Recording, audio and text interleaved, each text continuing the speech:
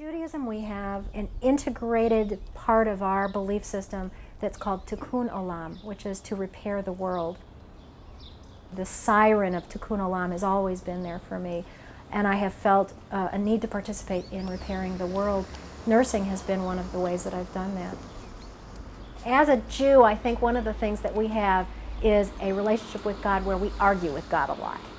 In having this argument with God, it deepened my relationship and my faith that God's strength is there because I felt pulled through some of these adversities in a way that couldn't be explained any other.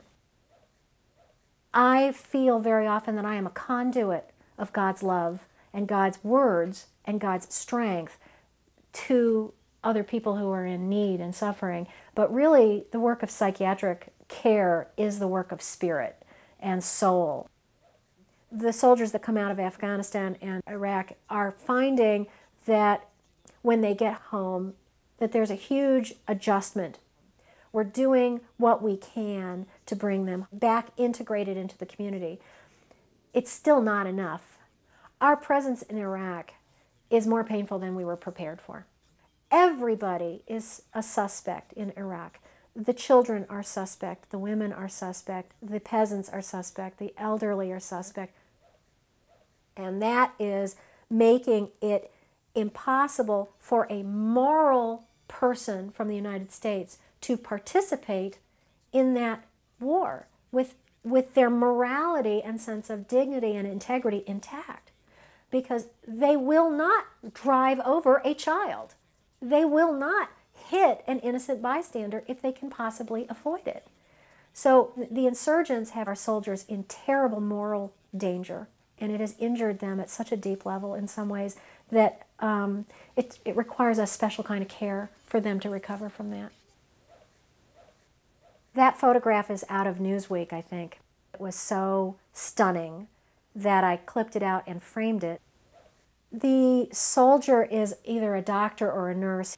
Whatever it is that has happened is over. And he is left with this baby in his hands.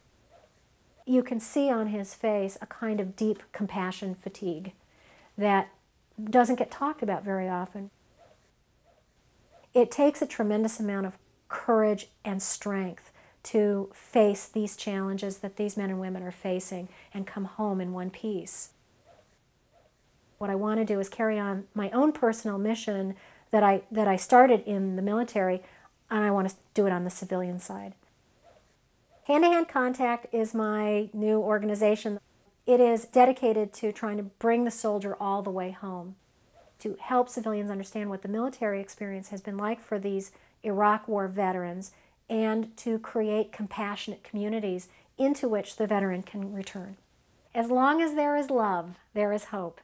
And I don't think that any of my soldiers would say that I talk about love a lot, but I think that what they experience with me is a kind of love.